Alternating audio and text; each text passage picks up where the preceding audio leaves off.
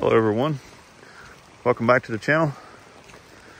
For today's adventure, I'm doing a hike in the Brevard area of North Carolina.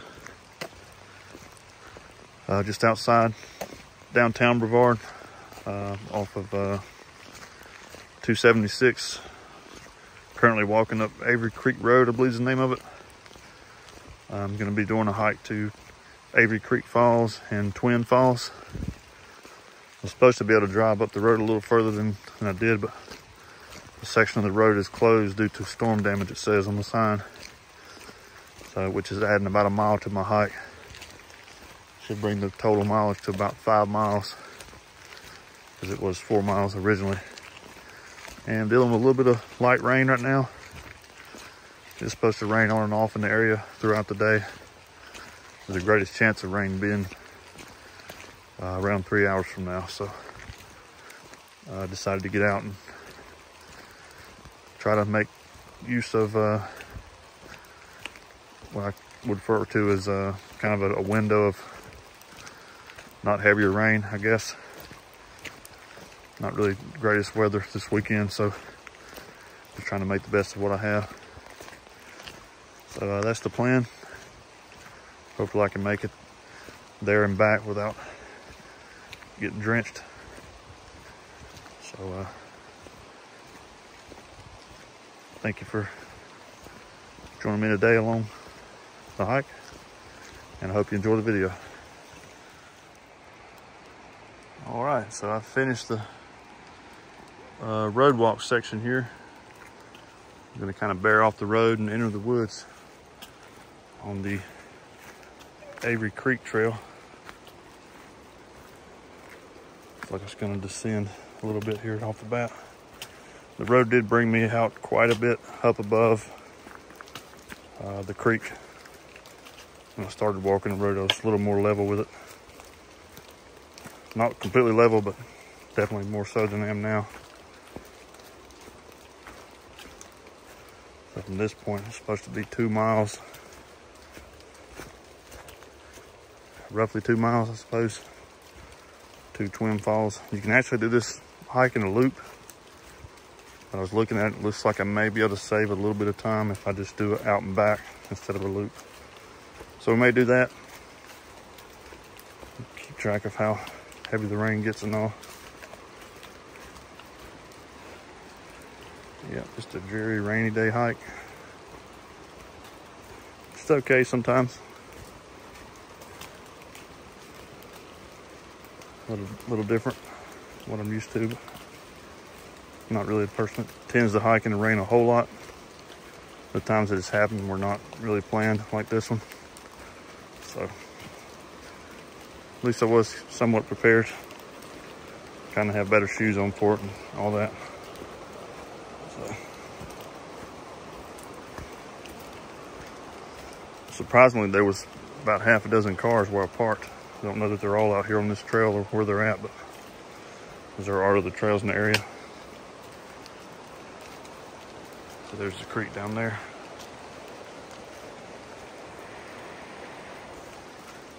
Working our way down to that, I suppose. It's supposed to be around the 400 feet elevation gain on this hike.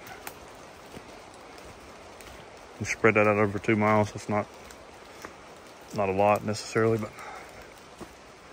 never can tell if it all comes at once or how it's going to be. But so far, we're just going downhill here in the beginning, so maybe it'll be fairly easy going. Creek side now. We got some little footbridges that they've put in place here.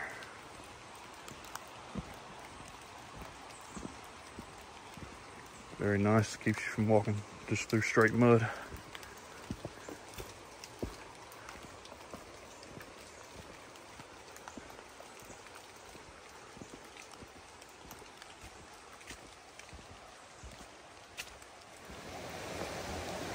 So I reached the first creek crossing here and I did have to cross it on this log. I always carry one trekking pole, so I had it. Someone had been kind enough to leave another uh, log on the ground there. So I was able to kind of have a stick on both sides of me. pretty deep there, so there was no walking through it, even with my 14 inch rain boots on. It's too tall for that, too high, water's too high for that.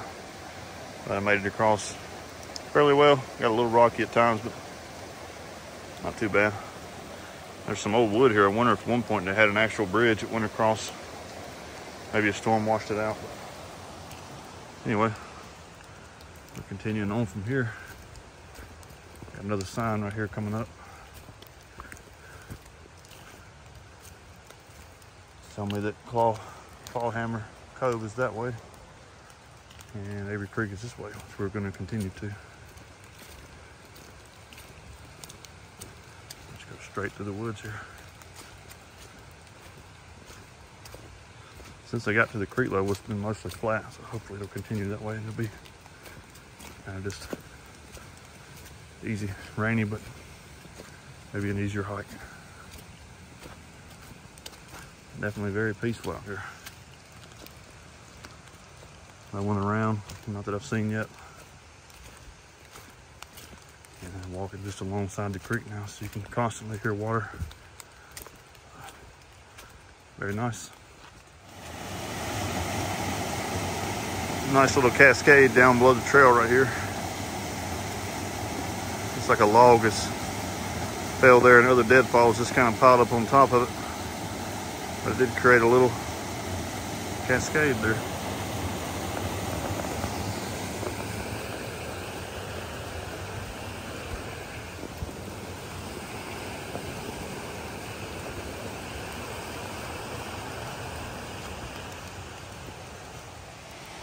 Coming up on Avery Creek Falls now. It's just off the trail. There's a little short path that takes you down uh, to get more in line with the creek. And I think it kind of parallels it up to the base of it. So we're gonna try to do that now. It's kind of right through the woods there.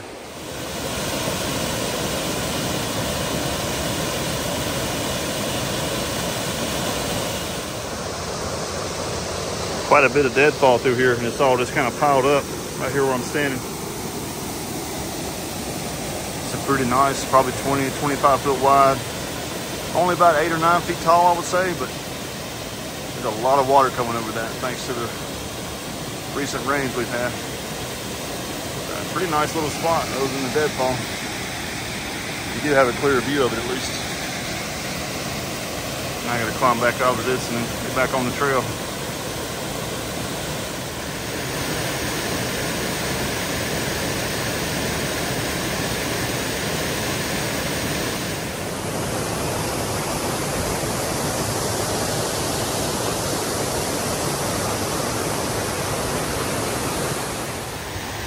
Here's another angle of it from the trail.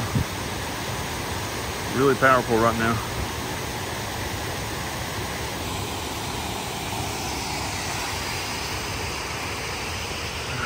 And you know, there's also another little scramble path here. It'll take you down here to the top of it if you wanted to go that way. I'm gonna power through here. Skip that part.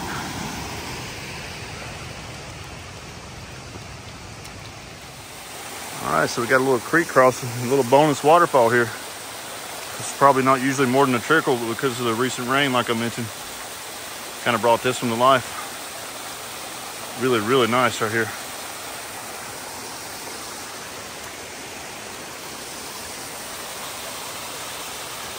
Yeah, I like that. Got a little slide right here, just in the creek. And we got some foot, foot bridges coming up here. One of them looks to be recently repaired, maybe. Another little small drop off to the right.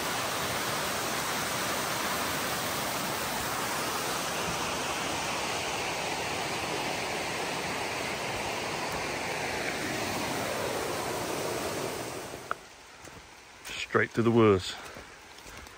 Perfect.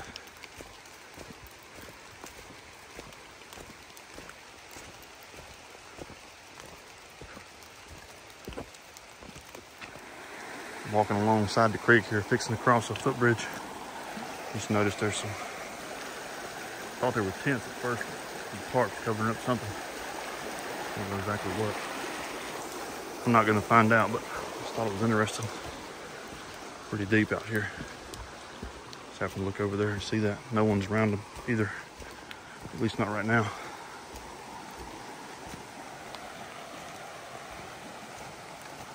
I'm glad these bridges are here.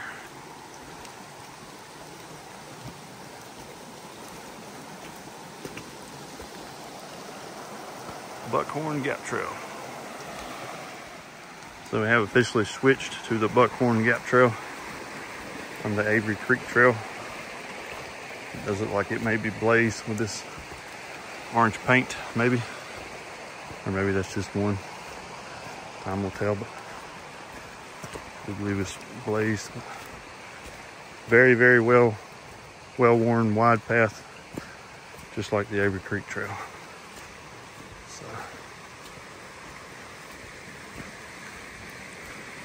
Got probably, I don't know exactly how much further left, but I would say it's probably under a mile, around a mile to the Twin Falls.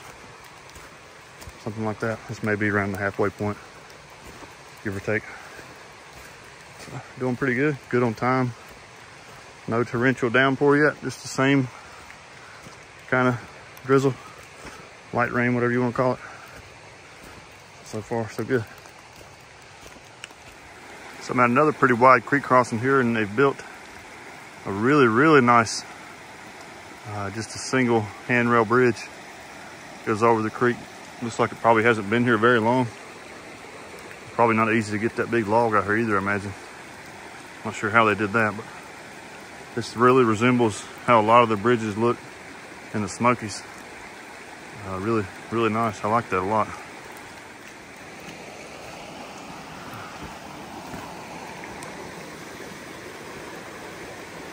Solid as a rock, can't even feel it moving.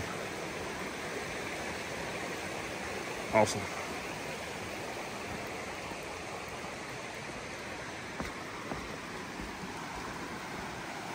They did an awesome job on that. It's great. All right, so I'm pretty close to the falls, maybe a couple tenths of a mile. Come to a junction here. It says the easiest way is to go left on the Twin Falls. I guess like a spur trail. Takes you the rest of the way to it. And actually do a loop and you can come back this way. I think I'm gonna do what's recommended and go easiest and then take the other one back. And I just noticed that there's another uh, nice bridge that they made here. It's actually two narrow logs, so I may not be crossing this one with a phone in my hand, but at least it is something because that water right there is too deep for me to walk across without getting up to my shins and over my boots. So I'm gonna take it easy across this one. Very glad that it's here. Waterfall coming right up. Back through there somewhere. Really nice campsite and a fire ring down here off to the right of the trail. Just as I get closer to the falls. I believe it's gonna be right around this corner here. The rain's starting to pick up a little bit. As I get closer to the falls, hopefully it's just around here. Won't be quite this heavy on the way back, but probably can't tell on camera, but it has picked up a little bit. So we're gonna make this a quicker than anticipated visit once we reach the falls and then start the trek back.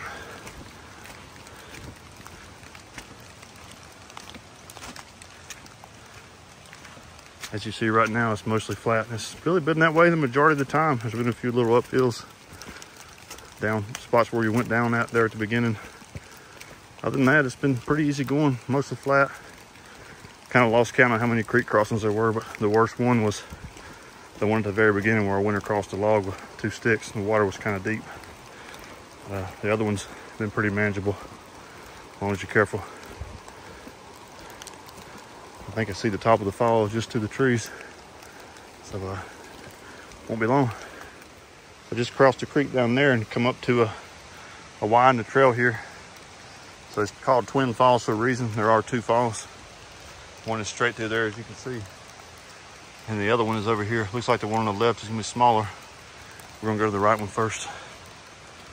So correction on that, looks like there's gonna be a total of three falls. There's two right here together. All in the same little area. I got this wide angle on right now so we can see everything at once. Little sitting area and campsite here. Yeah, these two waterfalls are huge. A lot of deadfall and things around them, but we're gonna get closer.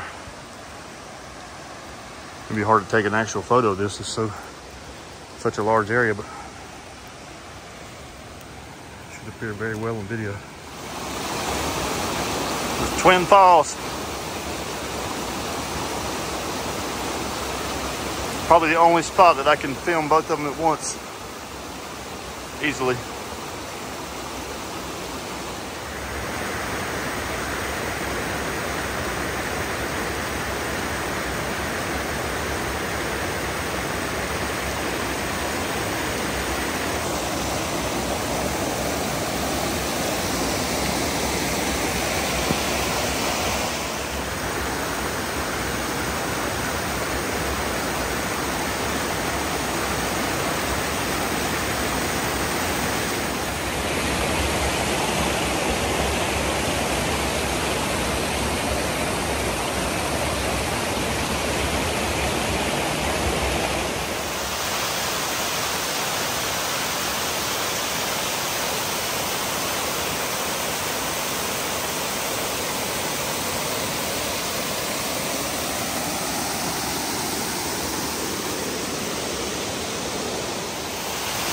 All right, so my phone's about to die, so I'm gonna go ahead and end the video here. Literally on 1%. Hopefully this clip will finish. But uh, thoroughly enjoyed the hike. We kind of already covered things I saw along the way. Uh, it is accurate to be around four miles round trip. Uh, in addition to that, I had to do the extra mile because the road was closed. But, so around five miles counting the road. But I really enjoyed the hike. Rain is picking up. I'm gonna try and hightail it out of here quickly and safely as possible. Hope you enjoyed the video. If you did, maybe give it a thumbs up. Consider subscribing if you haven't. Thanks for watching. See you in the next video.